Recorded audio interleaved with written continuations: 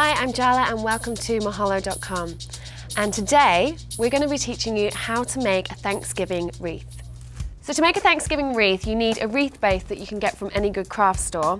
Then you can use anything to cover it. We're using these artificial leaves and berries, which we also got from a craft store, but you could also perhaps go outside and use leaves and berries that you found in your garden. Now what we're going to do is we're literally simply going to thread it through and also use the glue gun to glue these in place.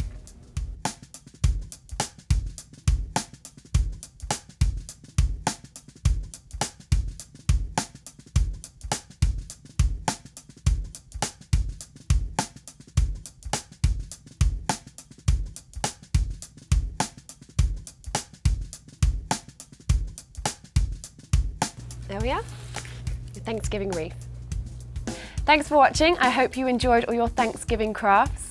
For more hot tips, please follow the links above. And for any requests, please email them to requests at mahalo.com.